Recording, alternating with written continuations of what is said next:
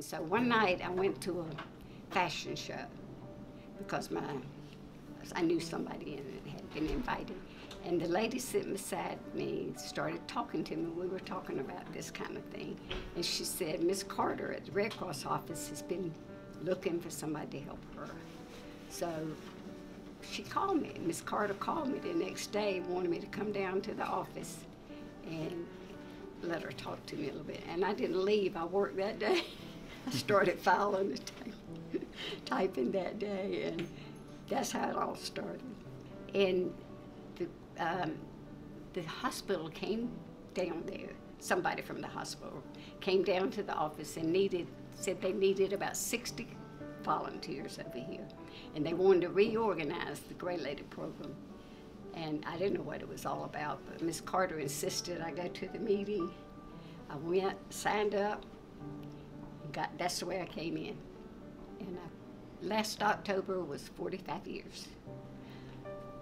Well, it fulfilled a need in my life at the time I came in, and I never wanted to leave. It was the most rewarding thing I've ever done.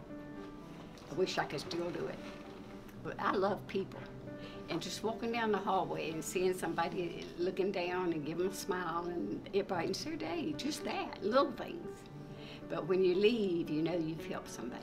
And sometimes it's babies and mothers, and it's different. Every call is different. That's why it's so interesting. It's like a family. And Megan and Nisi and all those, Brandy and all, Leslie, all of those back there have been such a blessing to me.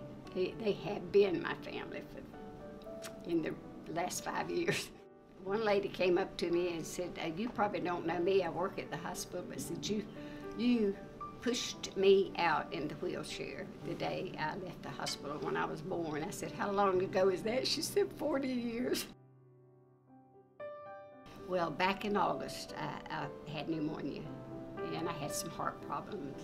And that's why I'm not going to the luncheon. My doctor advised me not to be around crowds because I'm still, my voice is still not back.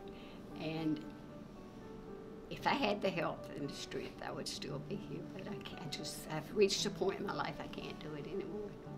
And I'm just thankful for the time that I've been able to do this. So, um, yeah, I've had it on both sides now, and you can't beat this hospital. They care.